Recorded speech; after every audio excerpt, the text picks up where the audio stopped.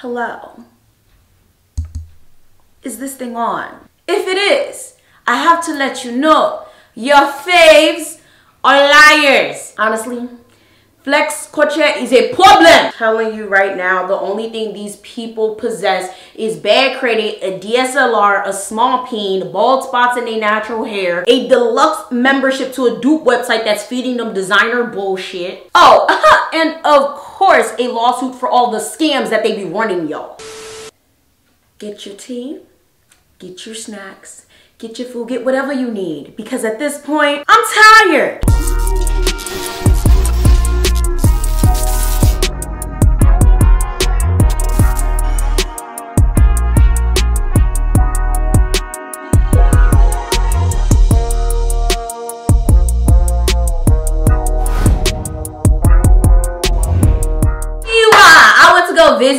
Cousin not too long ago. She live in PA. Shout out to you, Tasson. And she said she knew people who followed me or whatever. And they had the nerve, the gall, the audacity to ask her the question of why I don't be flexing. And I'm just like, what? She was like, yeah, such and such and such and such and such and such was saying, oh, why your cousin don't be flexing? Why she don't flex her designer and, you know, show off all the things she has, you know, like her apartment, like her apartment seems nice. Like, why don't she be out here talk about that? Why she just be like regular? Like, she look like a regular regular. Like, why is she like not acting like these other YouTubers? I was just like, is that what you want? Like, is that, like, like, I'm a regular, regular person. I just have a DSLR and a following, okay? Same on camera as I am off camera, okay? And I don't care how much money I get. I don't care how far I get in life. I will still shop at Rainbow. I will still shop wherever the hell because what I like is what I like, okay? Style is not indicative in possession, okay? If you have a nice car, you have a nice car. It doesn't have to be a BMW, a Mercedes,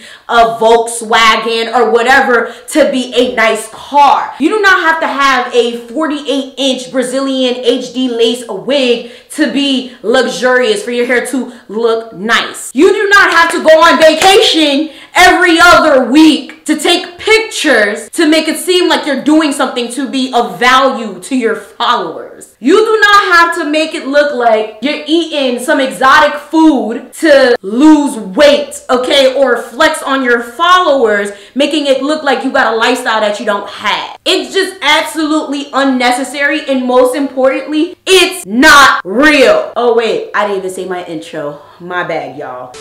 What up, what up, what up, everybody? I am Thee Mademoiselle, and this is my channel. And today we're going to be talking about flex culture. If you guys are not aware of flex culture, simply put, flexing means showing off. Usually material possessions, but it can be other things as well, which I'm going to get to in a little bit later. It is the excessive flaunting, usually of material items that one has. Examples of flexing can be, of course, cars, clothes, shoes, hair, cars, extensions and stuff like that. Another flex can be travel, flued out, body, like girls that have fat asses and big titties just, you know, having shit out all the time. thing is, I feel like low key though, before I get into this, for real, for real. I feel like low key we all do a little soft flex, okay? Whether we don't know it or not, I think we all do. Like when we be like, yo, I just saw this painting, it's so fucking cute. I'm so happy I got it. Look what I got. Like I feel like that's pretty harmless. I feel like we like to share as humans,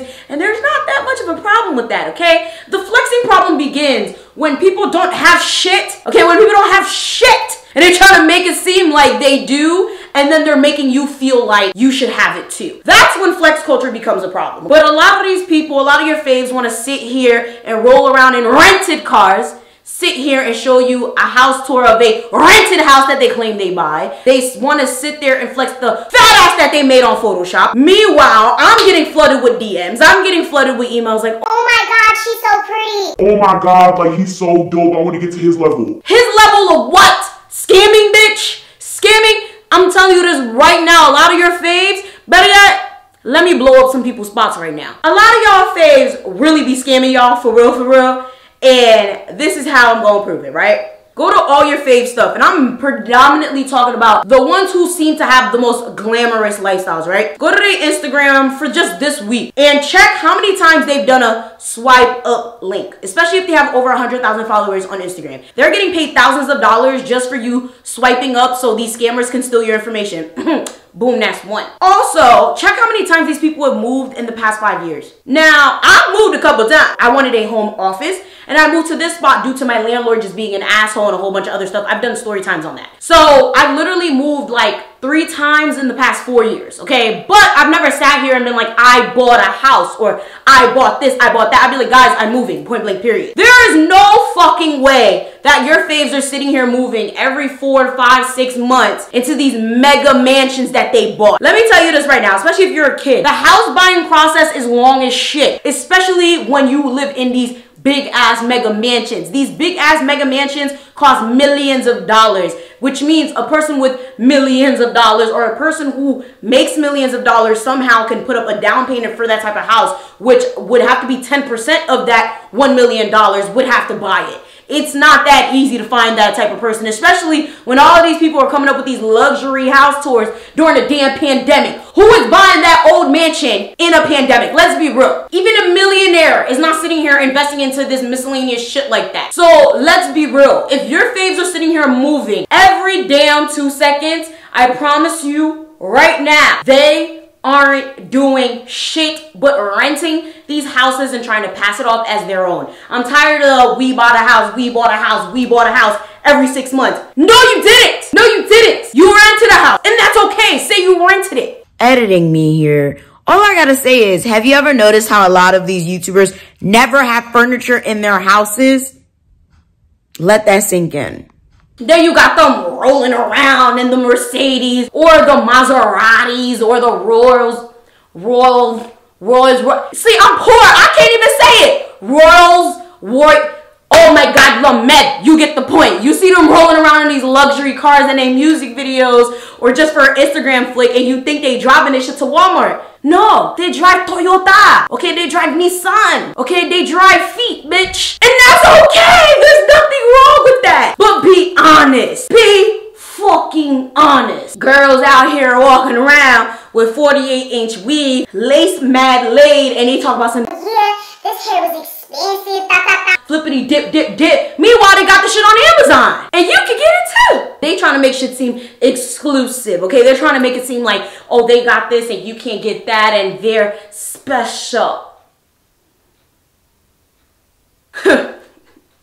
Y'all special, alright? Y'all real life special. These dudes out here with their sneaker collections on the wall got 500 sneakers in the clear cases on Amazon. Like, yeah, you know, this my crib, da da da. Them Jordans, they're fake. Of course, we got those girls out here who legitimately just have like boxes of designer to make shit look cute, to just have an aesthetic. Do y'all not know that you can literally buy boxes of designer shit for like dumb cheap? You don't even have to have it. You can literally just buy Versace box. Louis Vuitton bag. Like literally just the retail bag and just use it for decoration. Or better yet, what's even better, you can legitimately take these logos, put them on a plain piece of paper and wrap them around a regular box. And I kid you not, especially on camera, it looks real. Let's not forget that a lot of these things are also counterfeit. There are a lot, okay, when I tell you a lot, a lot of good sites that do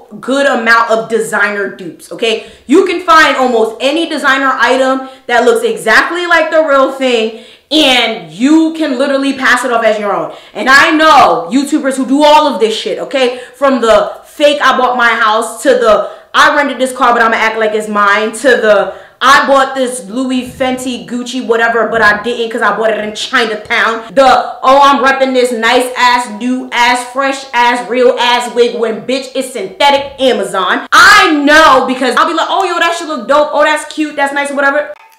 Don't tell me what it's fake. Meanwhile, I'm getting flooded with DMs of a bunch of sad kids who are looking at like 19, 22, even 25 year olds wondering why they can't be these people. And it genuinely infuriates me because these people aren't even their people. Just like how I talked about Instagram, okay, and how these bitches be lying and body positivity and stuff like that. It's the same with this. A lot of these people are literally putting up a facade. They do not live the life that you think they live. This is all a ploy and it's all a marketing plan. What you guys need to understand is stuff like this does sell. And it sells because you guys play into it. The more you look at someone else's stuff and you're like, I want to be like that, I want to look like that, I want that too. Even if it's like something small, you're feeding into the marketing plan. Now, let me tell y'all how this works, right? Let me just break it down a little bit so you guys can understand, right? So, if a girl is sitting here posting selfies all the time, you guys can go look at your fave stuff right now. If a girl's sitting there posting bare face selfies regularly, or even if it's just once or twice, kid you not, her body pictures the pictures that have the designer in it, the pictures that have the house in it, the pictures that have the car, whatever in it, will always have significantly more likes. If a dude is taking selfies, he not gonna get no likes. But if he take that picture with the drip, he got the Jordans on, fit on fleek, stuff like that, he gonna get the likes. It's all a ploy. And it's not even just about likes. The whole point is if you look like you got it, people gonna think you got it. Just like you can literally post on Instagram the happiest stuff and people will automatically think you're happy. Meanwhile, you try to commit suicide yesterday and don't nobody know about it. People can literally be whoever it is that they want on the internet, and that's including your faves. The best marketing plan is to make it seem like you are living the best life possible so people want to live your life. Hence, if they want to live your life, that means they will buy whatever it is that you are selling for the simple fact that you live that life. This is why I don't post a lot of shit because one, I don't base my life or just like my my possessions on my worth. I have a lot of nice shit, but it's not like, oh, okay, let me just flex on my followers and make them want to buy everything that I have or make them want to have the life that I have. Like, realistically, I could do it. And, like, I guess, like, I kind of do it for my media hustle, but that's me trying to teach you guys how to be YouTubers. So it kind of makes sense for me to just like, okay guys, writing video ideas. But it's not like I'm sitting here flexing, flexing. Like, yeah guys, so I made $5,000 this month just off of YouTube and, and $2,000 just off sponsorships. Like, it's not like I'm sitting here doing all of that because for what?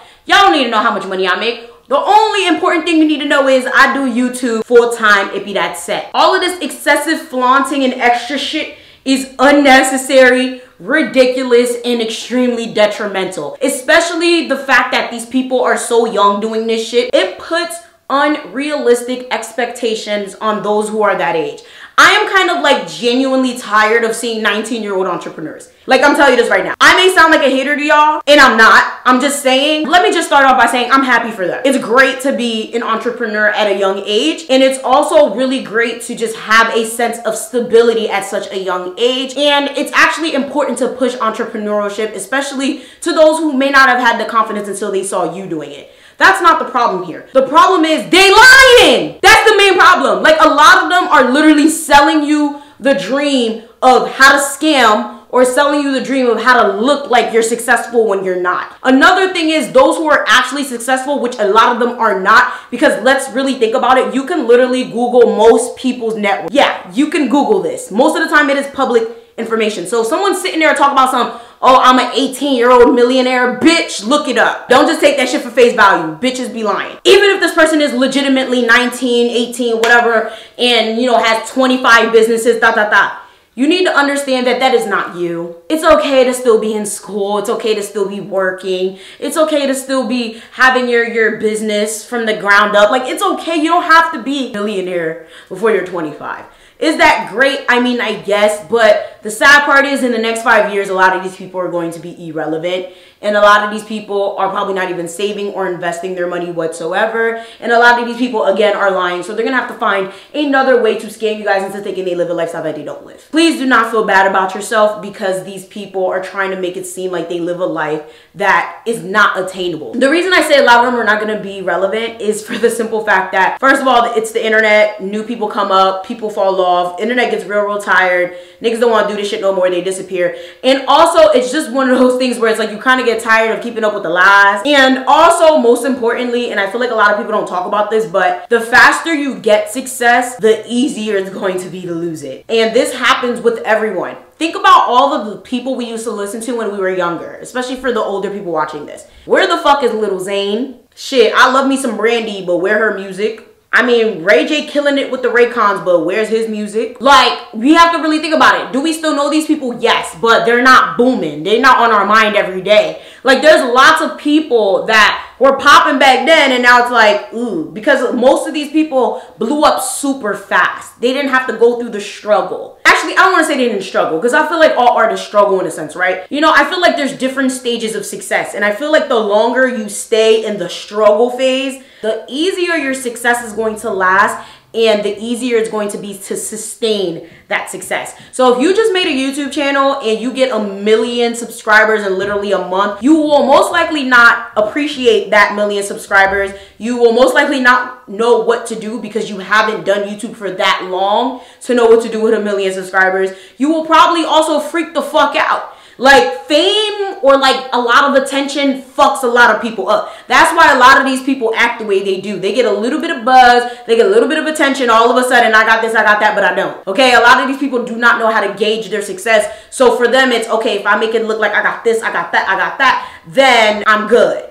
because then they're gonna buy from me, they're gonna support me anyway because I got this, I got that, but I don't, but I do because they think I do. It's a very tug of war type of situation. So even if you are one of those people that's struggling, understand the longer you stay in that struggle phase, when you finally make it to where you need to be, you're going to be successful forever. Look at those people that have been grinding forever. Drake is a perfect example. I know a lot of people don't fucking like Drake, but he's been making music forever. But when he finally went mainstream, he's still mainstream. And it's been a very long time since he's been mainstream.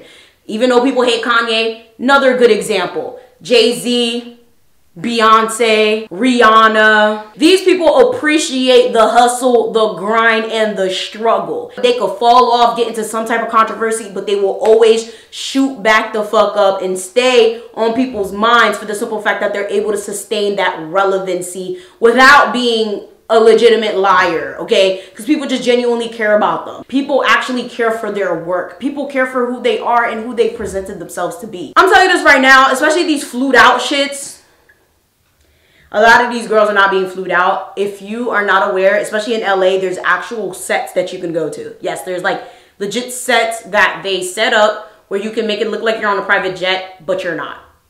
Yes, it's a real thing. And it's not just for airplanes. There's different sets for a lot of different things. Actually, there's a YouTuber here named Natalia Taylor. If you guys not watch her, super interesting stuff. She actually did a photo shoot in Ikea and made her followers think she was in a whole nother country. She made it look like she was literally traveling out the country and she was literally like in the same state. And she tricked all her followers. And it's like, wow, it's that easy. So realistically, you guys do not have to feel bad about yourselves. And you need to be very mindful of who you follow and what they're pushing to you. Because at the end of the day, you need to be responsible for you and looking at other people, envying other people, sitting there with this like unconscious worship does not help you. It actually doesn't help anyone. It hurts you more than anything. With that being said, make sure you guys comment down below. What is your problem with flex culture? Do you love it? Do you hate it? Do you flex sometimes? Would you be flexing? Let me know down below. Make sure you guys get your merchandise. Join my throne. Most importantly, follow my Haitian channel. If you guys need consultations or anything else that you guys constantly ask me in the comment section, will be down below. Like, share, subscribe, do all that, and I'm gonna see y'all next time.